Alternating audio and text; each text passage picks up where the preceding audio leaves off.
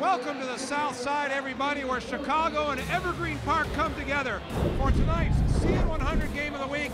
It's a 4A girls super sectional matchup. Homewood Flossmoor against Trinity.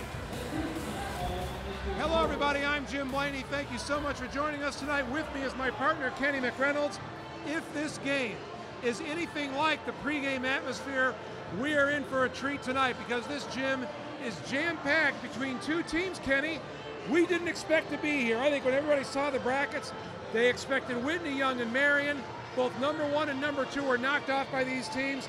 So let's start by talking about HF, a team that has not been this far in the tournament since 1997. Yeah, but the one thing they have, Jim, they have a coach that has always been to this tournament in Anthony Smith. A little bit under the radar this year. They were knocked out of the playoffs last year by the IHSA, but they're here today ready to make the trip downstate. Trinity has had some great teams in recent years, but they have always run into Whitney Young at some point and not been able to advance any farther in the tournament. Well, they put on a stunner last Thursday night and they knocked off number one ranked Whitney Young to get to this game. And it only takes one point to win, and that's exactly what they did. They knocked off Whitney Young. Not only did they beat Whitney Young, they beat Whitney Young on Young's home floor. That snapped a 124 game home winning streak by the Lady Dolphins. Unbelievable to go into Whitney Young and beat that team. Two minutes to go here in the second quarter. Faith Suggs, face up to the basket. Fall away, hits the bucket. Suggs is so good here, Jim. So she looks down low for Rubin. She's not there. Nice little spin move and the jump shot from the elbow. McKenna, 3.11 to go. Lee. Top of the key, Aylward. Stritzel, she'll try a three. That's good!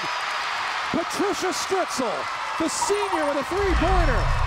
Watch Stritzel. You swing it, all the defense goes to the top of the key, follows the basketball. You can normally pass the ball quicker than a defender can really uh, get over. And she was wide open. Stritzel has it. Hits the late forward coming. McKenna with the assist and another bucket for the freshman Lauren Lee. She has nine and the lead is nine. Here you see McKenna coming down court, stops, nice dribble drive, you swing it back out. See they're taking their time. Movement without the basketball. Beautiful movement without the basketball by Lee. And again, you just swing the ball around. McKenna, nice bounce pass to Lee once again. We've seen this combination before tonight. Stallworth, they have a timeout if they need it. Johnson to Stallworth, seven seconds to go. Stallworth puts it up high, won't go. Rebound, Lampley ties it.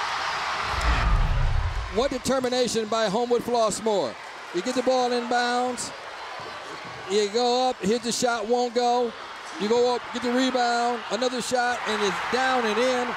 Boy, these young ladies just did not quit. You come in, you swing it. Here you go, Stallworth Gets a pretty good shot, won't go. Ball goes up, and here it is again. Lampley with the rebound. And remember, she was the last substitute in for Flossmoor. Runner by Stallworth, and that's good. Stallworth has 19. Well, Flossmoor getting floaters, Trinity getting layups.